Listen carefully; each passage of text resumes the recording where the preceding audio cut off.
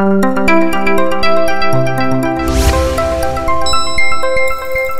Televízió Vasad önkormányzata 126 köbméter szociális tűzifára pályázott, és a belügyminisztériumi pályázatnak köszönhetően 52 köbméter megvásárlására támogatást is kapott.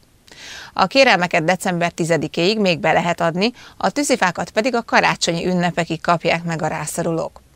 De nem csak a belügyi pályázattal és tűzifával, hanem a tanyagonnokon és a Vasadi Polgárőr Egyesületen keresztül a tanyavilágban lakók életkörülményeinek javításával is segíteni akarnak a vasadiakon. Sok mindenben nem változott a szociális tűzifaosztás, azt tudjuk, hogy megvan a, a felsőbb szintű döntés.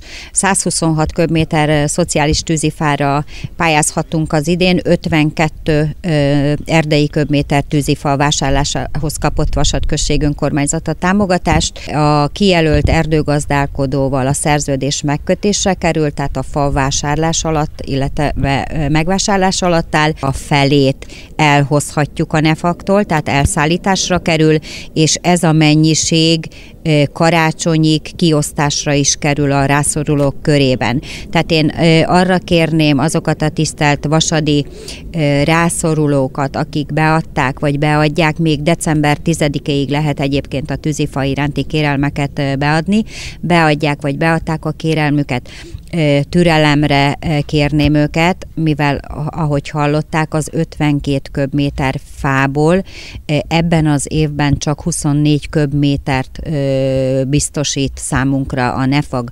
A tűzifa mennyiség másik felét az csak január hónapban hozhatjuk el, tehát nyilván annak a kiosztása is el fog húzódni január végére, de én azt gondolom, hogy akkor is nagyon jól jön majd a tűzifal rászorulóknak. A belügyminisztérium, a tanyagondnok és a polgárőrök mellett a Monori Kistérségi Családsegítő és Gyermekjóléti Szolgálat vasadi szakmai egysége is segíti a rászorultakat. A helyieket ruhaneművel és élelmiszerrel támogatják jótékonysági alapon. Vasad nagy kiterjedésű tanyavilággal rendelkezik, körülbelül ilyen 400-450 fő lakja Vasad külterületét. Ennek érdekében, hogy a, a külterületi lakosság életminőségét javítani, bizt, megfelelő életminőségét biztosítani tudjuk, az önkormányzat két tanyagonnoki szolgáltatást, mint szociális alapszolgáltatást működtet tehát a tanyagondnokok elsősorban abból is az egyes számú tanyagondnoki szolgálat napi rendszerességgel tartja a kapcsolatot a külterületen élőkkel, így télvíz idején ez még fokozottan előtérbe kerül, és még rendszeresebb, főleg az idős egyedülálló nyugdíjasokat szinte naponta fölkeresi, problémájukat segíti megoldani, bevásárlásokat, gyógyszerkiváltásokat, orvoshoz, szakorvosi rendelőbe történő szállításukat a tanyagonnoki szolgáltatás keretében. Azt gondolom nevet is lehet mondani, Dobai Zoltán tanyagon gondnok bonyolítja és végzi.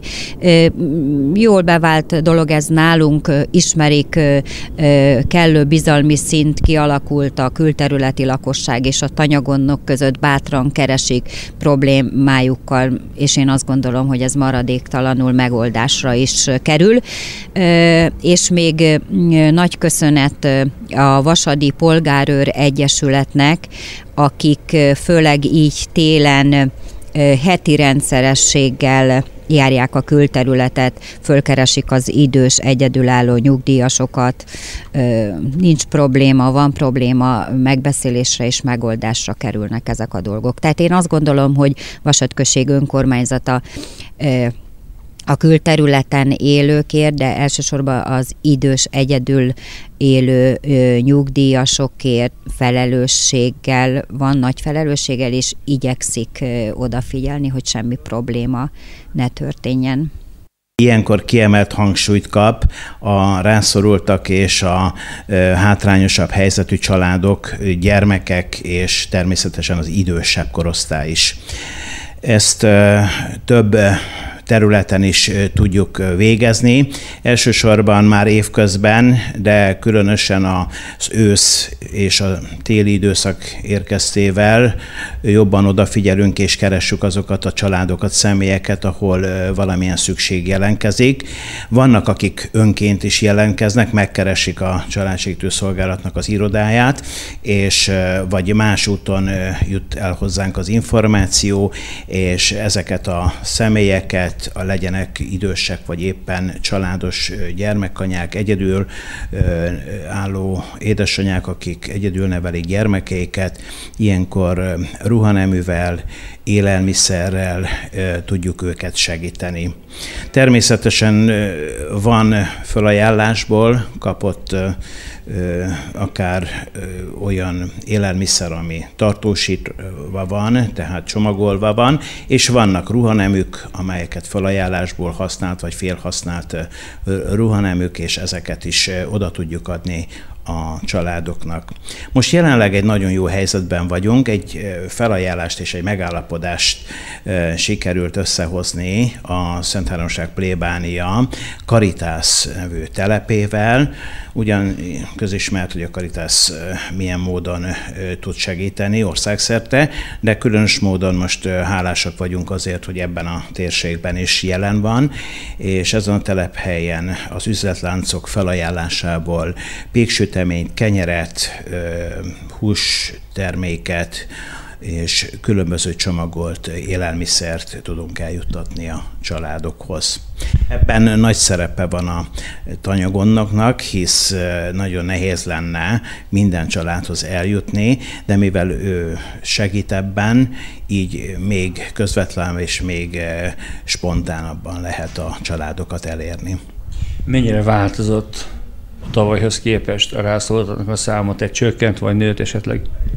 Hát bizonyos értelemben tapasztalunk javulást, de újabb kihívásokkal is találkozunk. Most a legutóbbi időben jelentkeztek olyanok, akiknek tüzelőre lesz szükségük. Hála Istennek most olyan időszak volt, hogy nem volt annyira fontos, de már most érzékelik a tél közelettével, és jelezték többen is, hogy tüzelőanyagot, tűzifát. Ebben viszont az önkormányzatnak van nagy szerepe, segítsége, Természetesen mi is kutatjuk még a plusz forrásokat, amennyire lehet, hogy hogyan juttatnánk ahhoz a lehetőséghez a rászorult családokat, szülőket, időseket, hogy olcsóbban beszerezhessék azt a tüzelőt, amely szükséges a téli időszakra.